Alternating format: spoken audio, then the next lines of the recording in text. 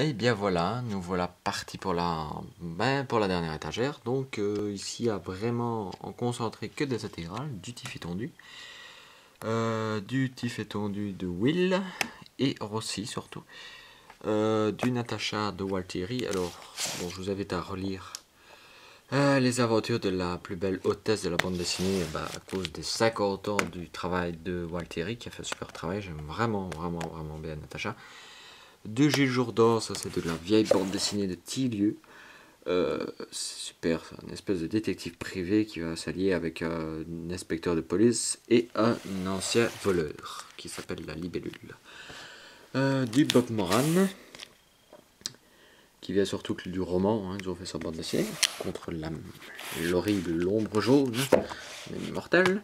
Euh, Samy, les aventures de deux de, de, deux détectives au plein milieu euh, de la crise de 29 et de la période mafieuse. Euh, là, on a ah, du Isabelle, c'est un univers fantastique qui a quand même été fait par Will Froquet, Delporte et Vachereau. Ils sont quand même quatre grands noms de la bande dessinée. Euh, là, le chien le plus, plus gay de toute l'histoire de la bande dessinée, Gay Laurent. Euh, c'est des grands intégrales, mais j'ai pas pu faire autrement parce que bah, tout simplement, il n'existe qu'un format comme ça. Alors, on a la bande dessinée euh, seule de Gazotti. C'est euh, des enfants qui se retrouvent malheureusement tout seuls. Les, parents ont disparu et ils ne savent pas pourquoi. on en sait un peu plus au fur et à mesure des épisodes, mais je vais pas en dévoiler plus. Alors, Violine, c'est une petite fille qui a des dons de voyance. En regardant les jeux dans les yeux. le dernier tome date quand même de 2009 et on n'a plus rien eu entre temps. Les zappers, c'est un truc sur les euh, fans de la télévision, de tout ce qui touche à la technologie. Parker Badger. Les aventures de. Euh, de, de, euh, de Tamara, c'est les aventures d'une, d'une fille qui est un peu. un peu beau. Mais c'est vachement cool. Alors, Jojo, c'est les aventures de. De petit, euh, petit garçon avec un petit béret vert. Malheureusement, Paul Gertz est décédé et il nous laisse derrière nous la plus belle aventure de Jojo, Mamie Blues. Il nous a quitté l'année dernière. Alors, du Titeuf que tout le monde connaît, je pense, Zep. Euh, le petit Spirou, euh, est-ce que c'est le, le, grand qui est quand était petit ou est-ce que c'est le fils du grand On n'en sait pas. On ne saura jamais. Alors, Garage Isidore, c'est une BD sur, bah, sur les garagistes. Euh, il y a vraiment un tome que j'ai vraiment, vraiment, vraiment du mal à avoir.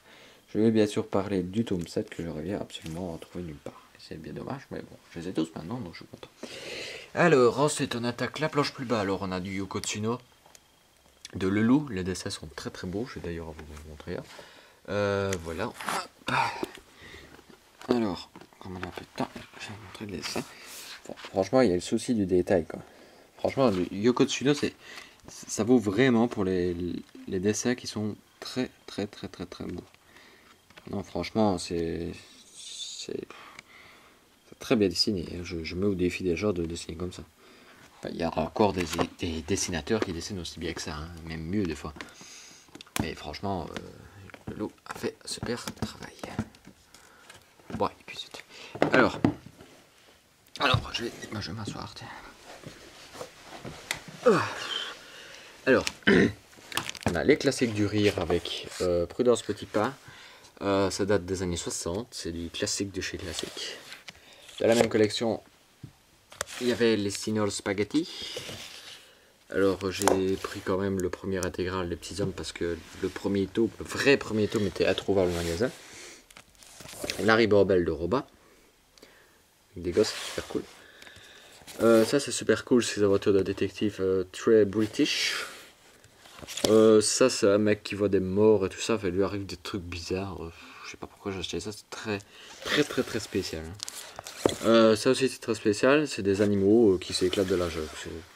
C'est bien, mais c'est pas non plus. En fait j'avais commencé Bladé de série, mais... Mais bon, fallait faire des chocs quoi. Donc euh, du Lucky Luke, du Mémoire de Spirou, euh, du Spirou spécial Noël, du Bobet Bobette, du Bobet Bobette, du Canardo. Euh, si Donald était fumeur et alcoolique, bah ce serait Canardo. Tout simplement. Alors, je vais juste vous montrer. Euh, ça, c'est un truc super sympa. C'est un hors-série du journal Mickey avec toutes les bonnes vieilles BD qui passaient à l'intérieur. Sortait un deuxième tome, mais malheureusement, je ne l'ai pas acheté. donc voilà, peut-être que je le trouverai un jour.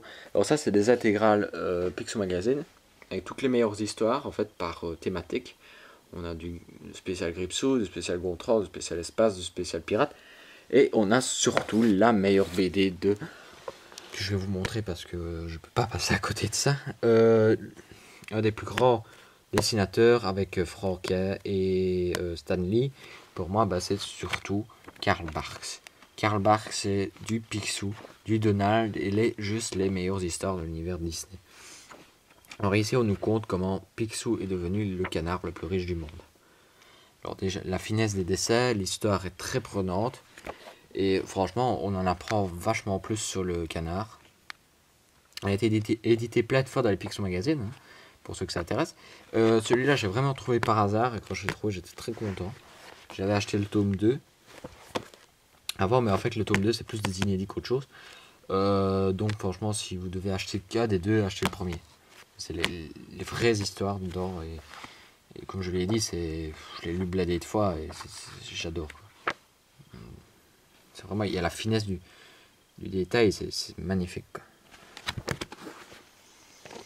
Alors, ensuite, donc, on a du trésor de Picsou. Oh, ça, je vais mettre de l'autre côté. Et enfin, pour terminer, on termine par de la BD franco-belge avec du Spirou. Alors, donc là, j'ai tout toute la série. Alors, les premiers, c'est de Robveld, puis de Francas jusqu'à l'épisode de Lankou, qui est très glauque. Parce que Lankou, c'est en fait le message avec la mort. Il est grave flippant cet album-là. Euh, puis il y a des haricots En fait, la période fournie est la moins bonne. Hein. Mais vraiment, la période la plus mauvaise de Spirou, c'est quand même Nikekova ou de ça, plus que passable et que l'histoire est sans intérêt. Puis on a le Spirou plus moderne avec les excellents euh, Tom et Jerry, dont mon préféré qui est autre euh, que la, bon, la vallée des bannis est pas mal, hein. mais je vais vous montrer l'épisode le plus abouti de la période Tom et Jerry, qui n'est autre que la machine qui arrive. Ça c'est une aventure très très très spéciale de Spirou. Euh, et en fait, un police, enfin une sorte de police poursuit le, le clone de Spirou. Et on suit en même temps les aventures du vrai Pirou et on devient vite parano quand on ne sait plus qui est qui. Euh, J'avais pas trop trop aimé hein, vraiment le, au tout début que je l'avais lu et puis euh, je me suis dit tiens oh oui c'est pas mal c'est original et puis ça change un peu des Spirou habituels. Et puis c'est surtout dans cette BD qu'on apprend enfin le vrai nom de Sekotim qui n'est autre que la meilleure amie de Spirou et de Fantasio son ami de toujours. Donc, la période Tom et Jerry étant finie, on a eu donc la nouvelle période de Spirou, dessinée par Morvan Miniera, qui est un ton plus manga, mais moins bien, c'est vachement moins bien. Et puis, on a eu euh, du Johan Vellman, qui a fait, euh, bon, comme je l'ai dit, qui a travaillé sur euh, Seul et sur Violine. Il y a un album collector avec les voitures Spirou. et il y avait, en fait, la dernière partie. c'est en fait quoi? C'est les c'est des aventures de Spirou inédites dessinées par d'autres réalisateurs que Franken, Nicky Couvet, etc. Et il y en a un dans le tas qui m'a qui m'a vraiment vraiment marqué. Alors cet épisode c'est le l'espèce de pilote, l'espèce de épisode zéro de Spirou. Comment est-ce que Spirou est passé de Groom est passé de, Groom à un reporter, un enquêteur, un détective, un sauveur du monde, un héros? Ici, Spirou se retrouve en plein milieu de la guerre. On fait plein d'allusions aux, BD suivantes. Et franchement, même si c'est la dernière, on sent que ça peut être la première. Euh, franchement, le dessin est très beau. Euh, il y a eu une autre série qui a été faite par le même gars, hein, donc Emile Bravo. Euh, c'était les épatantes aventures de Jules. C'est un garçon qui vivait des aventures bizarres euh, dans l'espace, etc. Et si vous devez vraiment que retenir qu'un album de Spirou, bah c'est celui-là. Il est excellent. Euh, franchement, c'est vraiment, vraiment, vraiment excellent. J'ai vachement bien fait de l'acheter parce que c'est juste la meilleure aventure de Spirou. Et ben voilà, j'espère que...